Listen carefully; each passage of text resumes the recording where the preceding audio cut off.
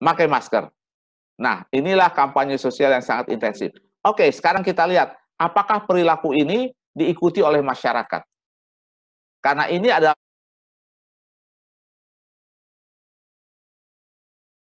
kita akan menentukan di mana rekaman dari Zoom ini kita simpan. Kita klik setting, kemudian kita klik recording. Nah, di sebelah kanan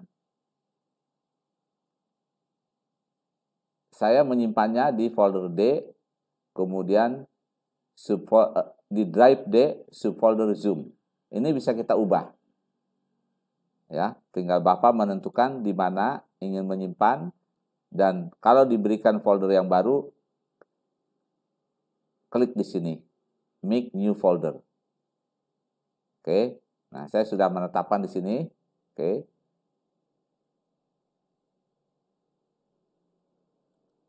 Nah, berikutnya saya ingin membuat video teknik kedua dalam pembuatan video dengan menggunakan aplikasi Zoom. Oke, kita klik setting, kemudian klik recording. Di sebelah kanan tertulis place video next to the share screen in the recording. Ini kita klik. Oke. Kemudian close X. Setelah itu kita klik new meeting. Oke, kita klik New Meeting. Oke, kemudian kita perbesar. Nah, nampak ini virtual background kita. Ini akan kita ganti virtual background kita. Ini kita klik dulu. Ya, kemudian klik stop video, tanda panah kita klik choose virtual background. Kita tunggu sebentar. Nah, ini pilihan file untuk virtual background. Kita pilih salah satu ya. Misalnya ini kita pilih ya di padang golf. Oke. Atau kita pilih nah terserah ya. Saya klik ini misalnya ya virtual background Vema. Ya. Oke. Baik, ini kita gunakan ini kita tutup. Nah sehingga eh, background kami ya yang digunakan adalah eh, folder eh, virtual background yang ada tulisan Vema. Oke pertama kita siapkan file yang akan kita presentasikan. Saya menyimpan file ini di My Document Zoom. Kita klik file ini, ya, maka file ini akan terbuka. Ini filenya, ya. Saya ulangi, ini filenya. Ya. Kemudian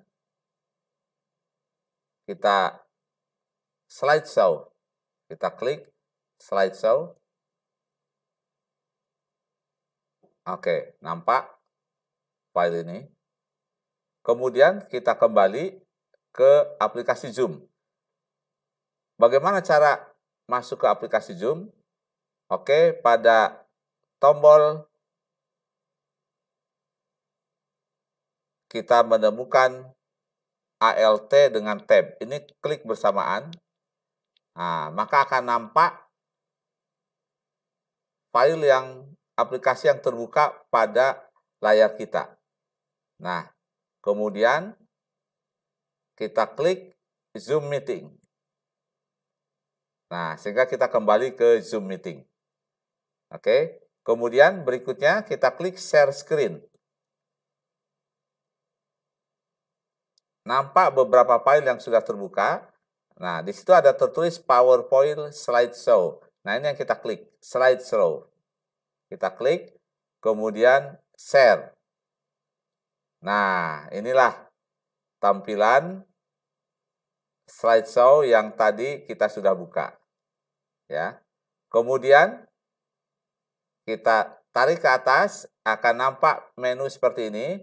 Kemudian klik sebelah kanan, tertulis di sini record on this computer. Kita klik record on this computer. Nah, kemudian ini adalah layar untuk presenter. Ya.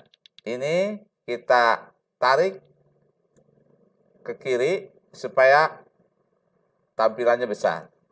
Saya sarankan gunakan tampilan yang paling besar supaya nanti hasilnya lebih bagus.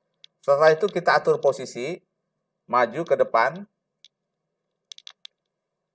maju ke depan, ya, sehingga kepala kita, ya, hanya sedikit dari batas atas, ya. Kemudian posisi kita, posisi di tengah dengan menggeser laptop ke kiri ke kanan atau kursi kita, oke.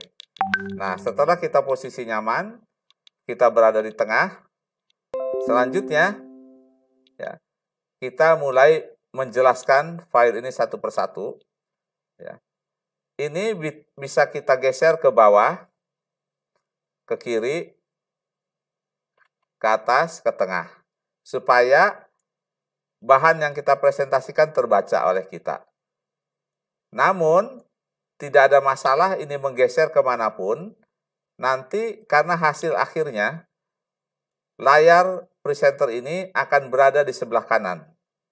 Jadi tidak akan tertutupi oleh uh, tulisan slide tidak akan tertutupi oleh presentasi kita. Gunakan uh, mouse untuk menggeser ke bawah. Ini slide berikutnya kita jelaskan, slide berikutnya kita jelaskan ya. Kita gunakan juga tombol arrow ke bawah ya dan seterusnya.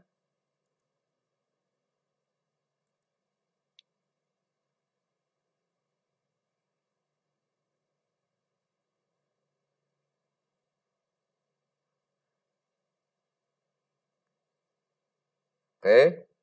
Setelah uh, setiap presentasi satu slide, Bapak ingin rehat atau Ibu ingin istirahat, kembali lagi, naikkan ke atas kursor ini, kemudian sebelah kanan, kemudian klik pause recording. Ya. Kita bisa oke, okay, pause recording. Ya. Kita bisa mengatur slide yang mau kita presentasikan ya. Ini dengan menekan arrow yang ada di tombol komputer kita. Nah, misalnya ini yang akan kita jelaskan. Setelah siap, kemudian kita kembali lagi ke atas. Ya. Kita geser ke atas, ketemu tombol ini, kemudian klik resume recording. Nah, kita merekam kembali. Ya. Setelah selesai semua rekaman kita, ya, kita klik stop sharing. Nah, kemudian tombol di bawah ada tertulis pause stop recording. Ya, kita klik stop recording.